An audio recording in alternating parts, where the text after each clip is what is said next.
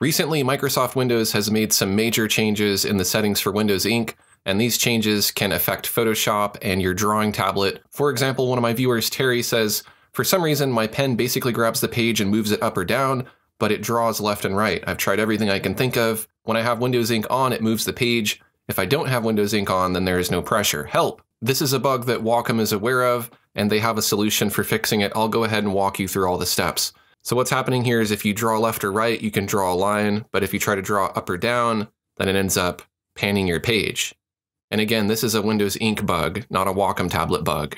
So essentially, all we need to do is turn off Windows Ink, and that sounds simple enough, right? But as Terry mentioned, if we turn off Windows Ink, then we don't get any pen pressure because Photoshop is dependent on Windows Ink for pen pressure. Or is it? So let's go ahead and look in our Wacom tablet properties. Now this setting could be in a few different places depending on the model of tablet that you have. I have the Cintiq 27 QHD Touch, so I'm going to click on my Pro Pen here, and then under Calibrate is where I will find Use Windows Ink. So I'm going to uncheck that. Now if we close out Wacom tablet properties and we go back to Photoshop, now I'm able to draw, but I have no pen pressure. I can't make my line thinner or wider depending on how hard I press down. And that's not good. So what we need to do is we need to sort of hack Photoshop in order to use the WinTab drivers rather than using Windows Ink. So I'm going to go ahead and minimize Photoshop for a second here. I'm going to right click on my desktop and I'm going to create a new text document. I'll go ahead and just double click on that to open it.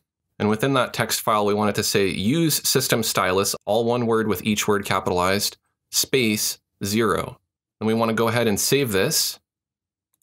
And we want to name this file ps user config, and it should be a txt file.